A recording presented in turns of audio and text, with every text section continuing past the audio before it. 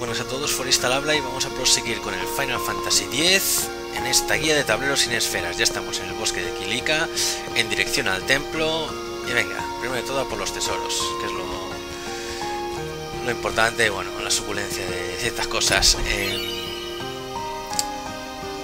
también quería pediros que, bueno, no hace falta huir de los combates, eh, con lo aprendido en los tutoriales y tal, podéis ir combatiendo por aquí. Y si os caen objetos y tal, accesorios, armas y tal, pues os irán, os serán útiles. Sea falta de subir niveles, las armas y accesorios de momento resultarán muy útiles para combates simplemente normales. El siguiente tesoro está cogiendo la bifurcación de la izquierda. Y luego el siguiente camino que sigue por la izquierda podéis ignorarlo, ¿eh? Simplemente tirad hacia arriba y conseguid cazatalentos. Seguid el mismo camino hacia el norte para encontraros un grupo de personas, no sin antes equiparos el cazatalentos de Waka, ya que destruirá a los enemigos como las abejas o los lagartos de esta zona. Eh, por cierto, los turbos de los eones aquí están. ¿Veis arriba a la derecha que pone turbo? Pues en cuanto rellenéis el turbo de los eones y tal, comprobadlo desde aquí, ¿vale? Entráis en eones, entráis en los diferentes eones que tengáis. Creo que con el E1 y R1 podéis intercambiar entre los diferentes que había. Ese cuando yo os diga rellenar los turbos, aseguraros de que lo tenéis todo rellenado desde, aquí, ¿vale? Las personas del cruce se separan, hablad con esta varias veces.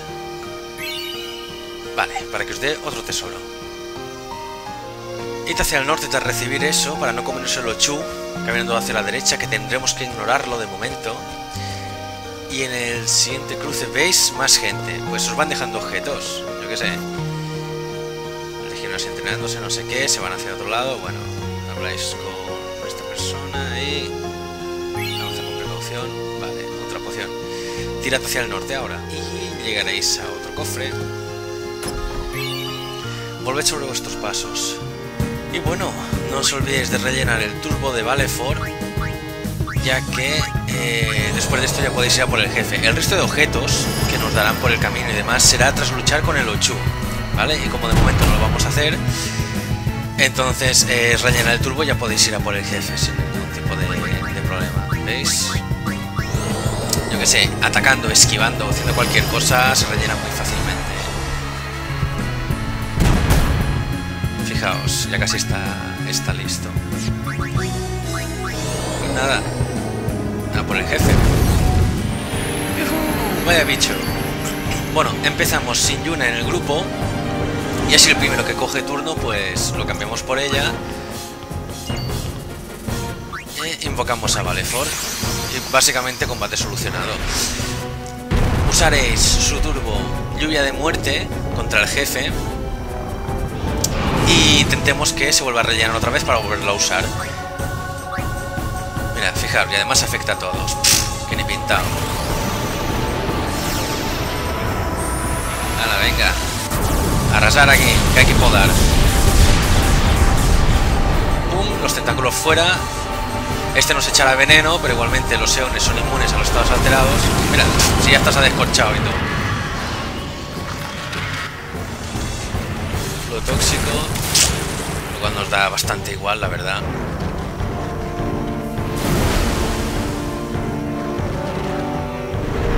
Nada, todo su repertorio de ataque nos ha hecho. claro, es que después del descanso de un turbo, anda que no necesita tiempo. Mira, fijaros, si uso las alas, consigo otro turno. Así que es más que nada para ir desgastándole poco a poco. Y ahora ya sí, este tío de mirar el fuego, vale. Y sigamos a nuestro rollo. Pilla por la orilla. Ruido tóxico, me sube el turbo. Ahí va. A las hipersónicas en este caso no me sirve para conseguir otro turno, pues sigo con Piro y rellenando el turbo. Con suerte no palmaré y le meteré otra vez la lluvia de muerte. Y este tío ya básicamente combate hecho. Vale, las as hipersónicas Joder, pues bastan dos piros más, eh. Este tío se muere con dos piros más, no hace falta el turbo otra vez. Fijaros, así ya lo tengo rellenado. ¿Qué os parece? Por cierto, si se os muere el, león, perdéis el turbo, ¿eh? No digo porque decís, ah, dejo que se muere tal. No, no, no, no. Si se muere, perdéis el turbo completamente. De la otra manera seguramente habría sido exterminio, pero la verdad es que me da bastante igual. Es decir, no, no os deja nada imprescindible en este caso. a palmarla. Y vamos con el templo de Kilika. Vale, ya estamos en el templo de Marras. Vamos a superar la prueba. Uy, no hace nada. a ver, según recuerdo... No era nada difícil este, ¿eh? Tampoco. La cosa se complica bastante más adelante con el tema de Shiva y demás. Pero estos son sencillos. Colocamos la esfera para quemar la puerta, la retiramos para no quemarnos nosotros. Bien, seguimos. Eh, tres altares. Vale, esta era la puerta. Ponemos esto aquí. Vale, aparecía el símbolo. Retiramos la esfera, pero el símbolo no se va. Colocamos en cualquiera de los huecos laterales, la verdad más que nada es para deshacernos de ella, ya que Tidus no puede usar ambas manos. Eh, no, no tengo que coger ahora la de... Uy, tampoco tengo que empujarlo, o sea, creo que basta tocar esto, vale, sí. Basta tocarlo y se abre esto, vale. Había una esfera, vale, de Kilika, la quito. Pulsamos aquí y aparece el altar. Pero esta esfera la tenemos que dejar en el otro sitio, ya que no nos interesa. Vale. Quitamos la esfera de aquí. La colocamos aquí. Y a ver qué pasaba. Vale, sí, sí, sí. Aquí dentro creo que está mira, de paso se van las llamas. Aquí dentro creo que está la de... Sí, la destrucción, para poder encontrar el tesoro. Y ahora tengo que colocar el altar en la zona brillante con una esfera de quilica para que se queme. Bien.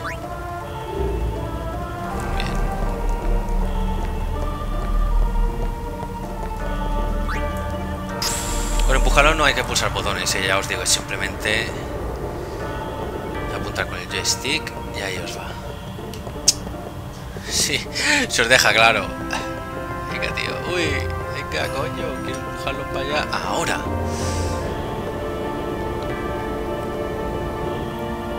Vale, ahora para arriba, venga. Ahí se queda.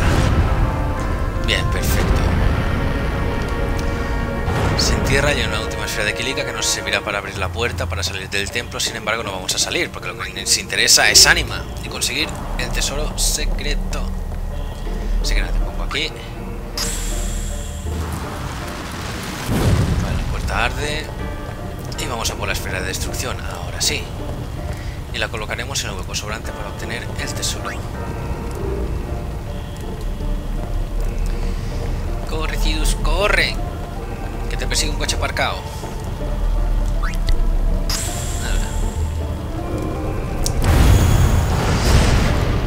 Y aquí está. Lo abrimos y sale una señal ahí. ¡Flom! Anima, eres mía. Recogemos esto y nos pasamos el templo. Y ya por Ifrit. Vais a ver qué útil es.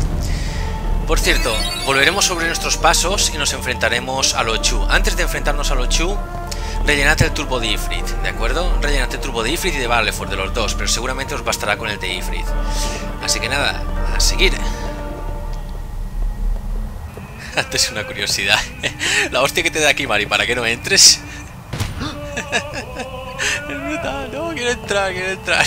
Placa. Venga, a por este bicho, que por otra parte, ya os digo, es opcional, pero bueno, tendréis jugosos objetos. Además, joder, nada mejor que sacar a relucir a Ifrit contra este bicho.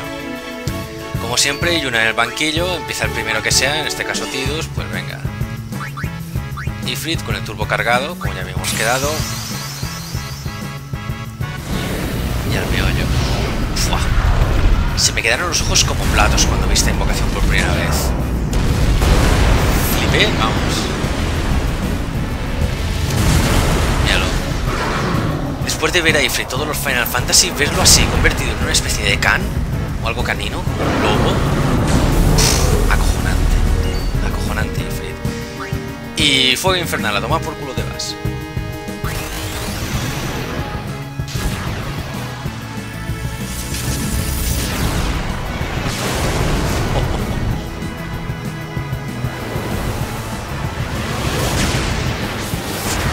espera, que aún no ha terminado. Tú espera.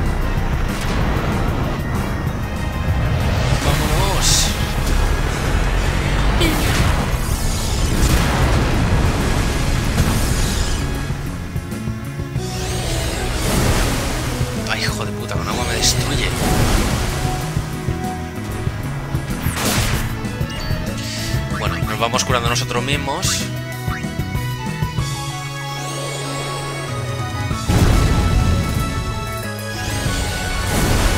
Y ya tenemos turbo.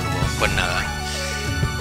Ahora lo que toca es tener cuidado porque creo recordar que se dormía y recuperaba vida al dormirse.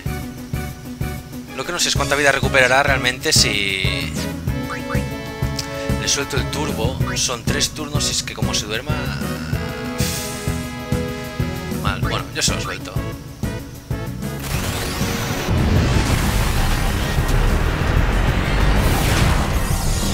ver cómo nos sale la jugada. Se queda dormido, vale, pero al dormir no me mata. Vale, hay que despertarlo con un ataque físico, ¿eh? Hay que despertarlo con un ataque físico porque si le atacáis con fuego os... os destruye, ya os digo. Bueno, os destruye, que no le podéis despertar, simplemente se curará. Hace un terremoto, me mata Ifrit, vale, pues ahora el resto quedará en manos de Valefor. No, Ifrit, no.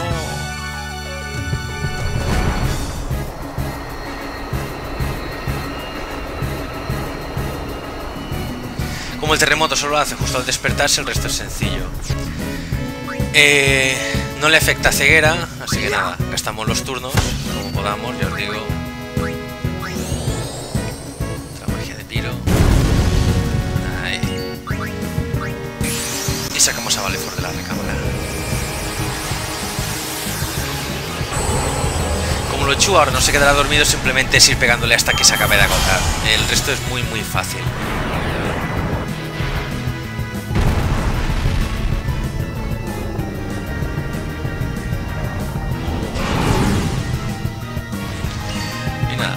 Límite y luego pido. Hasta que aguantemos.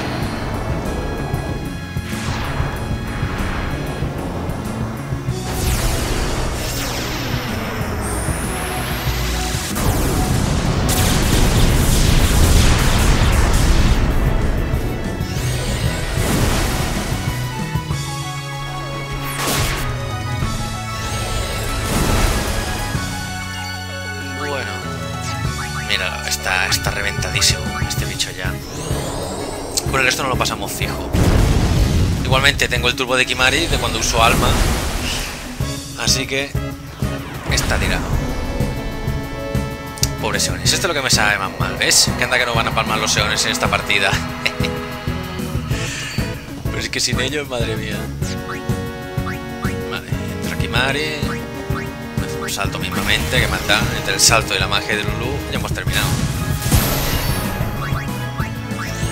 Ochu listo, nuestros personajes todos enteros.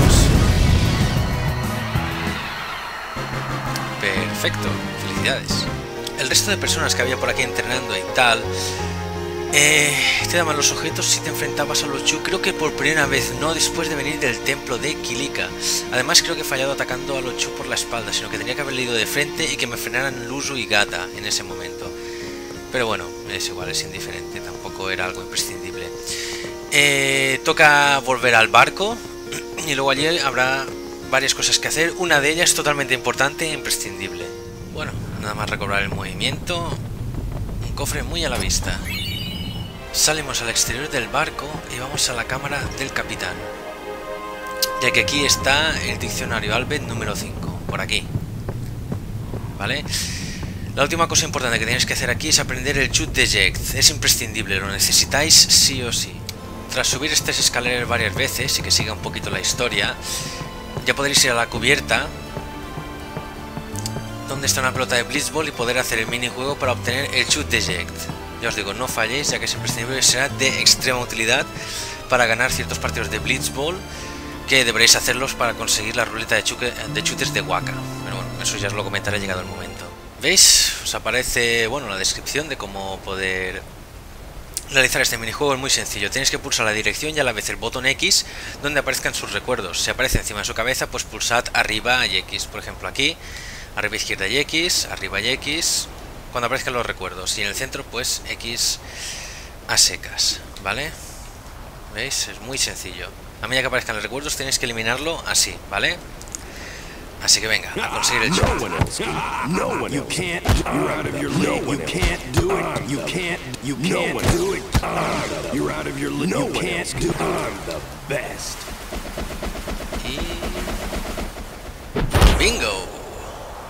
Hemos aprendido el shoot eject. Sí, señor.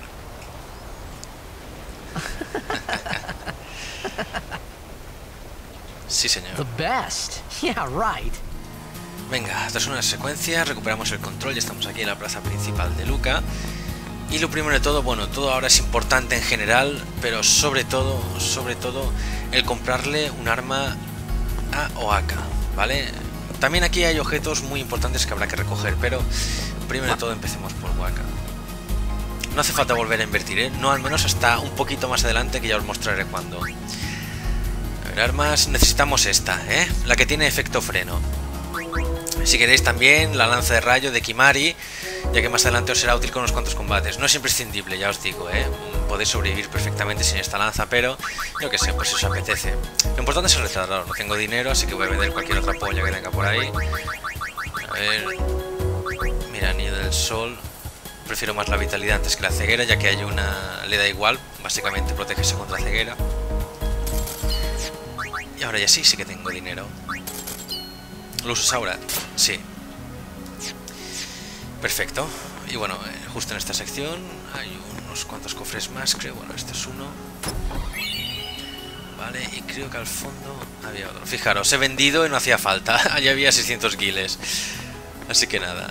Y aquí el otro. Y lanza de agua. Vale, sigamos moviéndonos. Y por supuesto, no os olvidéis de la placa de festo como yo he hecho antes y ahora tengo que volver a poner. Vale, en la zona que desembarcamos habrá aparecido un nuevo cofre a la izquierda. Bueno, sigamos rotando y moviéndonos. Vale, en esta última sección del puerto, si no usáis el minimapa, realmente es muy muy fácil dejar de pasar aquí dos cofres del tesoro bastante escondidos. Una esfera de poder mágico, genial y una esfera de vitalidad. Esto será muy útil para mezclar ciertas cosas con los turbos de Riku, ¿vale? Estas esferas así de... que no son de las normales. Es decir, tenemos aquí, bueno, ordeno como siempre. Digamos que estas son las normales, las rojas, y estas se pueden combinar con su turbo para obtener otros efectos que resultarán imprescindibles llegado el momento. Bueno, hemos dado la vuelta y ahora para terminar, antes de seguir con la historia principal, Vamos aquí. Eh, por aquí hay un diccionario al bet. Por aquí. No recuerdo exactamente dónde, pero por aquí hay uno. Y un último cofre. Vale, a seguir. Por cierto, que se me olvidaba, tras recuperar el control, vais al norte durante varias pantallas hasta que lleguéis justo aquí. Aquí hay un diccionario al bet de esos, ¿vale? El número 7 a seguir. Otro detallito rápido. Desde esta plaza, dirigíos a la salida noreste. Para encontraros con otro cofre. Y ahora ya sí. Todo en Luca explorado. Los siguientes combates normales son muy sencillos de pasar, la verdad. Además, si el arma retardador de Tidus funciona la primera, la verdad es que apuros pasaréis muy muy poquitos. Simplemente que Kimari y Tidus vayan atacando a un robot, ya que Lulu se carga de un rayo al que queda. Y como ese creo que ha entrado en estado lento, fijaros, hay un montón de turnos para atacarle. Si tenéis apuros, tiraos pociones y ya está, ya os digo, es algo muy sencillo. Yo no tengo que curarme ni una vez, y eso que mi capacidad ofensiva es una mierda.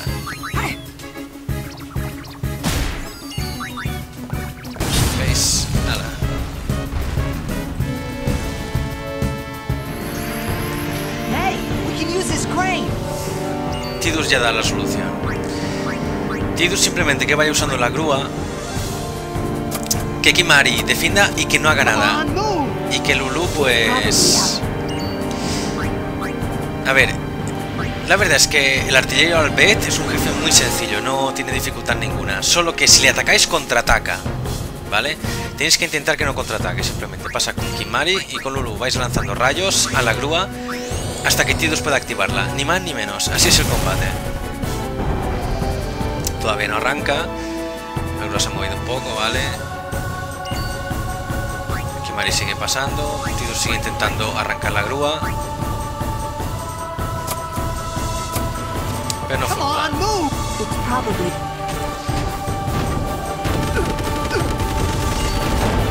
¿Veis? No es algo que sea... Lanzando Electro. En este caso, Tidus y Kimari que se dediquen a sanar ahora hasta que la grúa se encienda del todo. A ver, una poción para Lulu, que está un poco tocada. Y Tidus por si acaso en sí mismo. Y ya está, pasamos, seguimos arrancando la grúa. Trata de arrancarlo, por Dios, trata de arrancarlo. Y ya está, ¿no? Sí, ya arrancado. Pues venga, vamos a usarla y combate finalizado.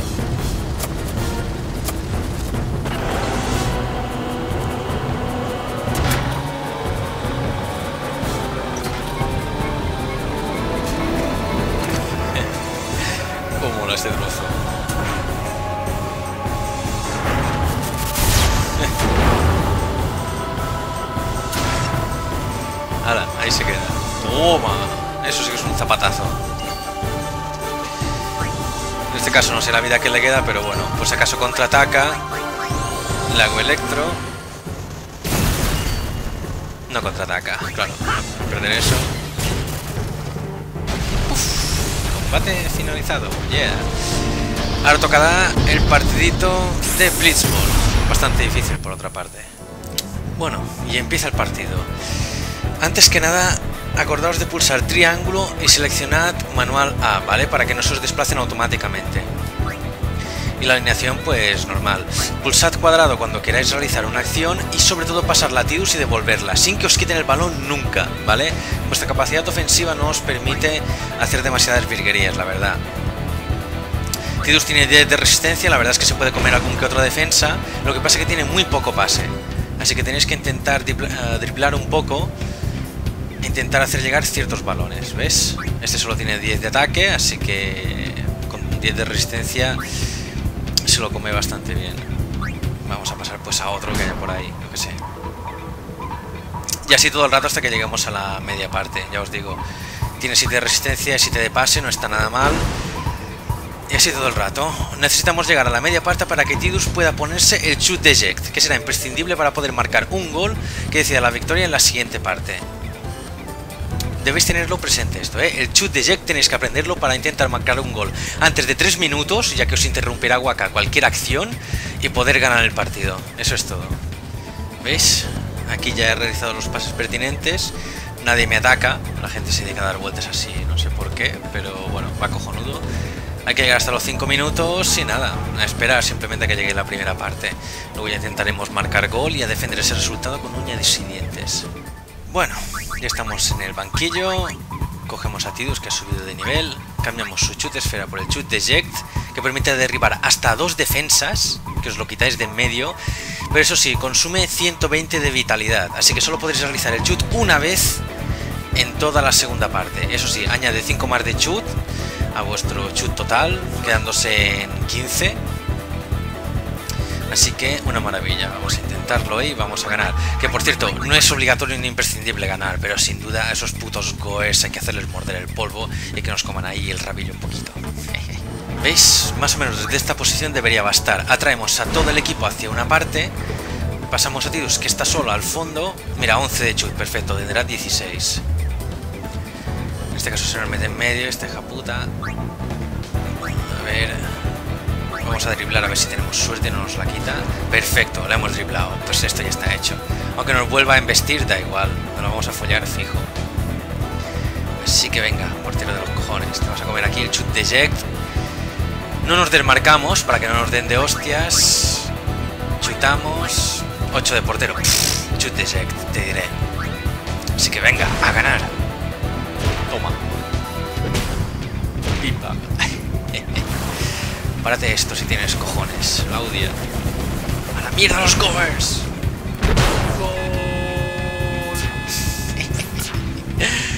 y nada. Ahora lo mismo que antes, a mantener el balón y a ganar el partido, ¿vale? Ánimo. Como os dije, la acción se interrumpía al minuto 3 independientemente de lo que ocurriese, incluso un gol, ¿eh? Así que ya sabéis, intentan marcar rápido y al meollo. Juas, a que marque otro gol. ¡Oh, sí señor Waka! ¡Sí señor!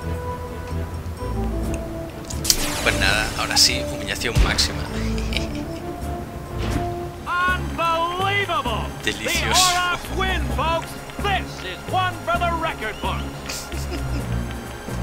Sí que lo es, sí. Bueno, patito. A ver, estos combates son sencillos, sobre todo no hay que descuidar ya que usar tantas pociones, sea cual sea. Si necesitáis otra poción para curaros al tope, da igual, la usáis. Sobre todo eso, se os hará bastante largo porque hay que matar muchísimos de estos enemigos. Muchísimos, pero bueno. No tengo ninguna arma de rayo, ¿no? Efecto freno... Mira, efecto rayo, perfecto. Así, cada vez que ataca Tidus es una muerte. Y eh, Iwaka no tiene nada. Bueno, pues... Da igual, pues eso, nada. Ir atacando y... ¡Oh, qué bien ha salido crítico! Solo eso, hay que tener paciencia porque son muchos combates, nada más. Yeah. Bien, perfecto. Ma mata de un golpe. Acordaos de meterle el retardador, ¿eh? Es esencial el efecto freno. Joder. Ha salido bien esta primera ronda. Pero sí, ya os digo, saldrán muchos combates de estos. Pero nada, eh, vais usando pociones y lo superaréis sin dificultad. Este combate contra el Garuda es bastante sencillo. Bueno, os volvéis a poner el retardador, como dije. Onda expansiva. A ver, ataque niebla. ¿Vale? A tomar por rompebrazo. Genial. Y yo me curo que estoy débil. Pero de paso tengo otro turno. Y si funciona freno, ya la repanocha. Este tío estará bastante jodido, ¿eh? Sí, ha funcionado. Bueno. Qué placer, toma. Eso es usar recursos, hijo puta. Y contraataca. No me queme la pena, toma. Ah, desgraciado, toma.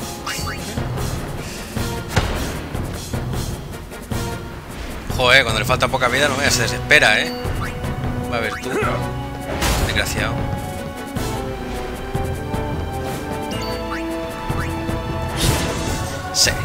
Combate perfecto. Como, podría... como aquel que dice. Uy, cuánto daño. Ah, toma poco lugar, duda. y encima crítico. Toda la hostia. Bueno, ya estamos en el camino de Migen. Que esto lo dejaremos para la siguiente parte del vídeo. Ahora hay que hacer algo importante que se tendrá entretenidos un buen rato. Tenéis que ir a la esfera y jugar partidos en el estadio de Blitzball hasta que ganéis el turbo de Waka Ruleta de Chutes. Es totalmente imprescindible, ¿eh? Totalmente. O sea, lo necesitáis. Sin embargo, vamos a buscar una manera de hacerlo un poquito más sencillo. Volved a Luca. Volved a la plaza y dirigíos a la parte izquierda para fichar a este hombre de aquí que está sentado en el banco. ¿Vale? Pulsa cuadrado es Jumal y bueno, es el segundo mejor portero del juego, lo cual os facilitará muchísimo la, la travesía. ¿Cuántos partidos lo contratáis? Pues yo que sé. Venga, no gastamos mil guiles, aceptamos. Luego ya le renovaremos si acaso. Pero no necesitaréis más de jugar más de 5 partidos, creo recordar, para conseguir la ruleta de chutes. Vamos a por otro jugador. Y por aquí, volved donde la parte de vestuarios y fichad a este de aquí, a Luigi. Le ofrecemos un contrato.